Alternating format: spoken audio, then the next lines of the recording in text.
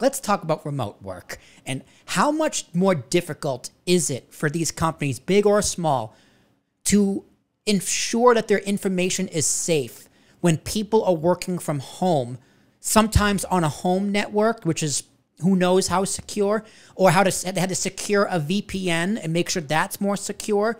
And with the idea of people coming in hybrid now, I do three uh, three days at home, two days in the office. That's just like for cybersecurity, that could be like literally the worst of both worlds. Now you got to pay for both. How has remote work affected the cybersecurity space in a positive or negative light?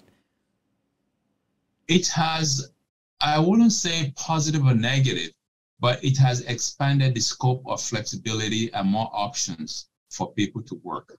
So now people that never thought that they, they're going to have a VPN infrastructure into their environment, now they have a VPN infrastructure. And the workers, in some cases, are more productive because they can focus. They don't have to deal with the office politics and water cooler, you know, talk conversation. They, some people are introverts. They prefer to work in their little cubby hole and they sit at home in their P- PJ all day long. That's and me. they're happy. and if you're happy, you're going to be productive. And they can play their music as loud as they want. You know, right. that that's great. That is great, but, but, I'm, I'm talking more from a cybersecurity perspective, though, from idea of yeah, like a company securing the data. Like, I totally agree with you. I love remote work, and it is more productive for a lot of people, myself included. But from a company running a running a company in a cybersecurity perspective, how has remote work affected that? It's it's been a it's been a it's been an ongoing challenge, and it mm-hmm. will continue to be an ongoing challenge based on how your infrastructure is designed. Mm-hmm Okay, exactly. we we we having we, we begin to see more of our clients going full cloud. Mm-hmm. Okay, uh, they're using things like Office 365. The uh, with the Office 365 is one stop shop for most of them. Uh, you can have voice over IP phone system that makes it look and sound like you're in the office. You can have it on your desktop uh, as a, uh, on the desktop, you can have it on your laptop, you can have an app on your phone. So it doesn't matter where you are. I travel a lot. It doesn't matter where I am. My phone rings on, you know, on my cell phone too. So it, it makes you more agile, but it depends on your MSP or whoever design, design your infrastructure for you. So the strength of your cybersecurity, it's upon who is designing for you how experienced are they and how flexible do they want to make sure that you you have the flexibility to do what you need to do. Users don't care about security. They just want to get their work done. Right. But it's yeah. And uh, for cybersecurity we need to have tools in place that are automated to do things for us instead of manually what you know looking at over our shoulder to see if things are working right. Those tools will send alerts to us proactively this is what's going on this is what's going on this is what's going on and you need to be able to respond adequately Mm.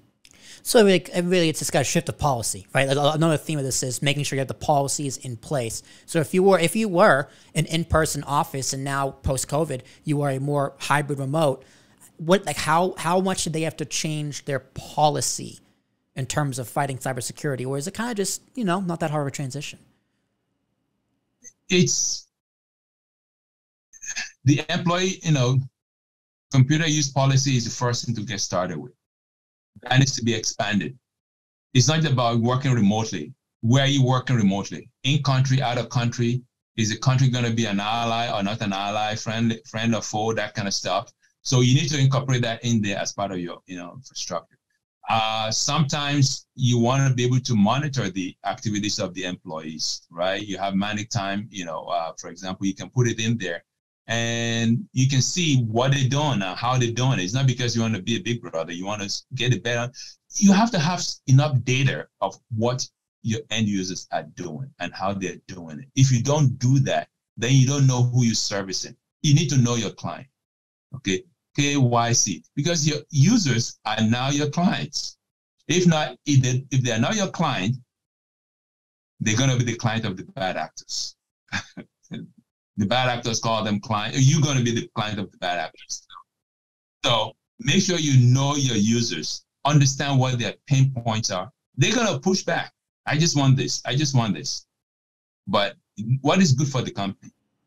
And yeah. that's what you have. It's a con- continuous conversation, continuous evaluation of your cybersecurity uh, posture all the time. You cannot sit back. because the bad actors they're they striking every time and hoping hope they're hoping one day you're gonna look and open the door and let them in. So when you look at the definition of uh, insanity, doing the same thing over and over and expect something a different outcome. But that's mm-hmm. what bad actors do. They do the same thing over and over, and if you let go, something else is gonna happen, and they, they get that win.